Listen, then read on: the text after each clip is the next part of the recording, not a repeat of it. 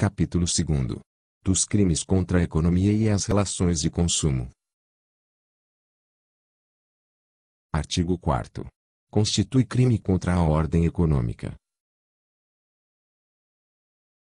Inciso 1 Abusar do poder econômico, dominando o mercado ou eliminando, total ou parcialmente, a concorrência mediante qualquer forma de ajuste ou acordo de empresas. Alíneas A e F. Revogadas. Inciso 2. Formar acordo, convênio, ajuste ou aliança entre ofertantes, visando. A linha A. A fixação artificial de preços ou quantidades vendidas ou produzidas. A linha B.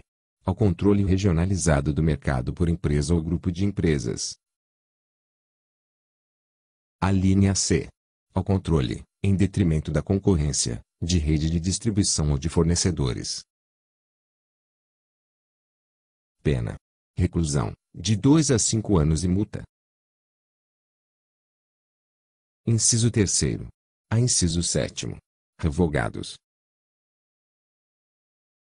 Artigo 5 e artigo 6 Revogados. Artigo 7 constitui crime contra as relações de consumo. Inciso 1. Favorecer ou preferir, sem justa causa, comprador ou freguês, ressalvados os sistemas de entrega ao consumo por intermédio de distribuidores ou revendedores. Inciso 2. Vender ou expor à venda a mercadoria cuja embalagem, tipo, especificação, peso ou composição esteja em desacordo com as prescrições legais, ou que não corresponda à respectiva classificação oficial. Inciso 3. Misturar gêneros e mercadorias de espécies diferentes, para vendê-los ou expô-los à venda como puros. Misturar gêneros e mercadorias de qualidades desiguais para vendê-los ou expô-los à venda por preço estabelecido para os demais mais alto custo. Inciso 4 fraudar preços por meio de a linha A.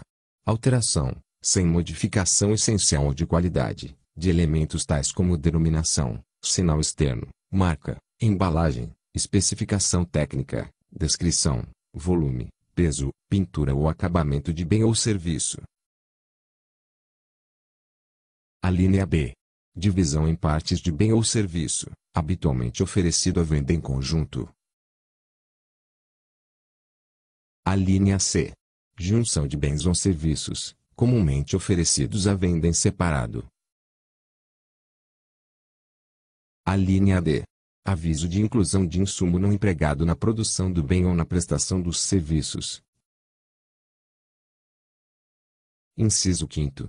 Elevar o valor cobrado nas vendas a prazo de bens ou serviços, mediante a exigência de comissão ou de taxa de juros ilegais.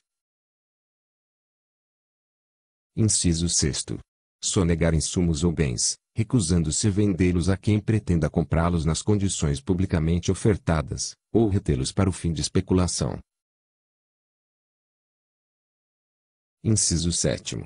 Induzir o consumidor ou usuário a erro, por via de indicação ou afirmação falsa ou enganosa sobre a natureza, qualidade do bem ou serviço, utilizando-se de qualquer meio, inclusive a veiculação ou divulgação publicitária,